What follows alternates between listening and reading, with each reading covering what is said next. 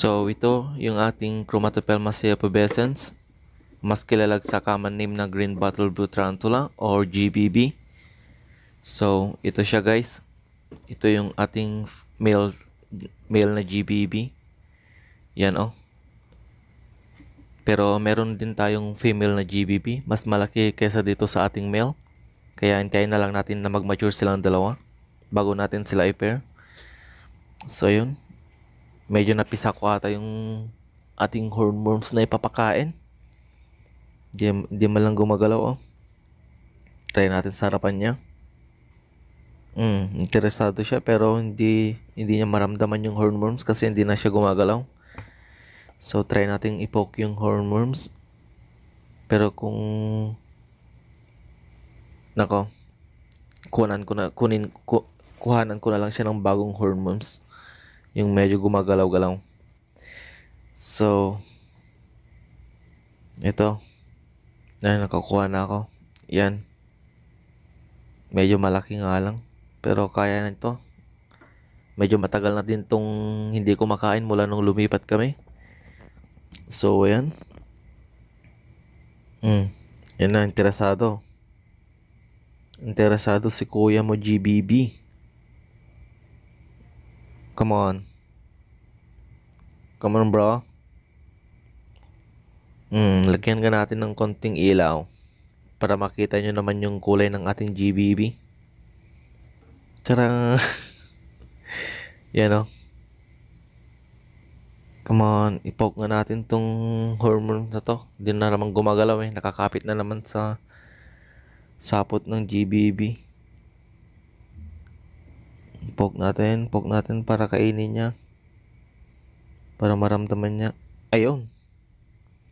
Kinagat sa pet. Ayan oh.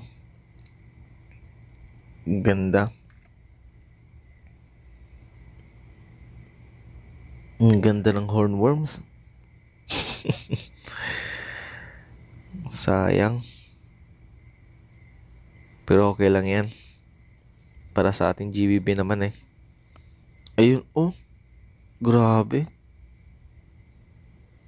Grabe yung pangil niya guys, oh.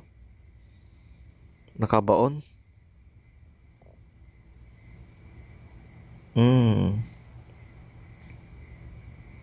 Sarap naman ng pagkain nito. Kawawa yung hornworms. Pero okay lang yan. Ay, ay, ay. Okay, kunin na din natin tong patay dito na hornworms. Napisa ko masyado. Yan o, hindi na gumagalaw. Grabe oh. Gumagalaw pa yung hornworms natin. So, yun, takpan na natin. And then, let's proceed na sa susunod. So, yun. Next one is yung ating Megapobema robustum o mas kilala sa common name na Colombian Giant Redney. Kitang-kita nyo naman kung bakit sila tinawag na Giant Redney. Napakalaki at parang nagbabagay yung kanilang mga paa. Para siyang fire leg pero mas malaki lang konti. Ayan. Oh. Pinapakiramdaman niya. Ayan. Galaw, galaw ka pa, hornworms, galaw ka. Gumalaw ka para mara, maramdaman ka niya. Ayan, ayun. Kinagat. Kinagat. Ito naman yung ating Megapobema robustum, eh, isa itong female.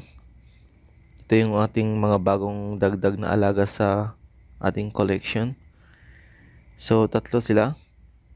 At makikita nyo nung dalawa pa dito. So, hintay lang. Ayan oh. Ang laki na nitong robustum na to guys. Nasa 7 inches na to. Ang ganda. Parang fire leg lang na payat na mahaba. Yan oh, kawawa din yung hormones. So, ayun, takpan na natin and then let's proceed. So, next one naman is yung ating Acanthus corea geniculata o mas kilala sa common name na Brazilian Whitney. Ito guys is nakuha ko 2 inches pala siya, pa lang siya nun. So, ayun. Yun oh. Gutom na gutom din. Lahat ng ating mga papakainin dito guys is last na feeding ko last na feeding ko sa kanila is nung nasa lumang bahay pa tayo. So, ayan oh. Grabe. You know, tignan niyo yung hormones, oh. Kinakagat pa niya yung paa ng ating kakantos Cora geniculata. Ay. Pero okay lang yan. So, yun guys. Next one na din tayo. Takpan na din natin to. And then let's proceed na sa mga bagong tarantula. So next one is yung aking Epebopus morinus o yung mas kilala sa common name na skeleton tarantula. So kaya sila tinawag na skeleton tarantula dahil dyan sa mga pattern nila sa kanilang paa guys. Yan o. Oh. So ayun. Kalimutan kong pakainin siya ng hormones. kaya next one na din tayo.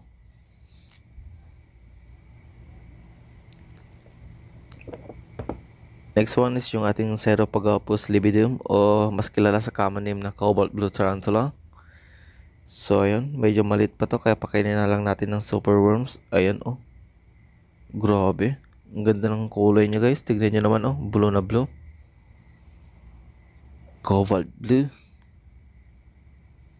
Ang ganda. So, ito, tsaka yung isa kanina, at tsaka yung ating Megapobema robustum guys is yung tatlong tatlong female na female sa atin. So, ayan, mayroon tayong breeding project na soon. So, antay-antay lang. So, yun, next one. Okay, next one is yung ating Brachypelma hamorai. Mas kilala sa common name na Mexican Red Knee. So, ayun. Tignan natin pagkain. Ayun, oh. Sinunggaban agad.